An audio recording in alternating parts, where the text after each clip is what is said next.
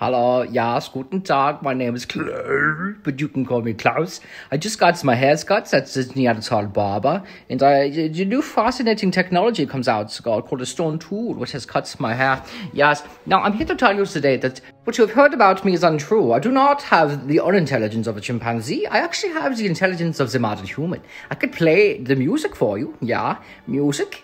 Allow me to play the piano for you. The piano is a wonderful instrument made by the modern human Jivile modern human. Now, I'm going to make a chord for you. Uh, yeah.